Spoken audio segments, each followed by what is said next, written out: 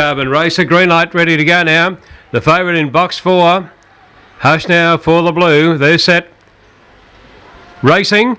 Hush now at the centre, jumped away okay, away fast there. Wise Moment lead, Hush now. They were followed then by Cashing up to third out of the straight. Spring Patsy the inside, running to the back, and the leader was a Wise Maple. Going up quickly there on the outsiders. Hush now to tackle. Back on the inside is Cashing in. Five length Spring Patsy. They were followed by Howie's Flyer. Racing Wobbling and Carbon Racer, heaps of baloney. And also uh, Max Rocket at the tail. On the turn though, Hush now taking the lead. Coming down the outside is Wise Maple. Cash now and Wise Maple, but it's going on to win it. Hush now. Hush now won it from Cashing in and Wise Maple.